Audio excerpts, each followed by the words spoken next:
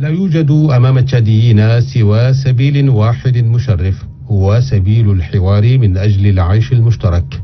وبالحوار فقط الحوار المباشر بدون وساطة. يمكن أن نتوصل إلى الحلول الناجعة والسلمية لمشاكلنا.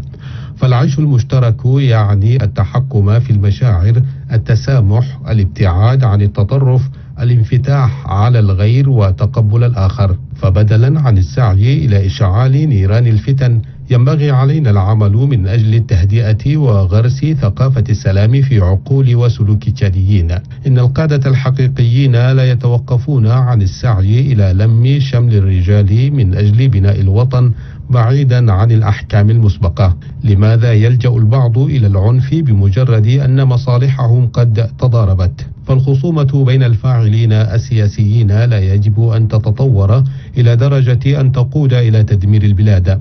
وعلى التشاديين الذين يرغبون في قيادة هذا البلد الجميل في المستقبل أن يأخذوا الدروس والعبر من الشعوب التي خربت ودمرت بلادها بالتواطؤ مع العملاء.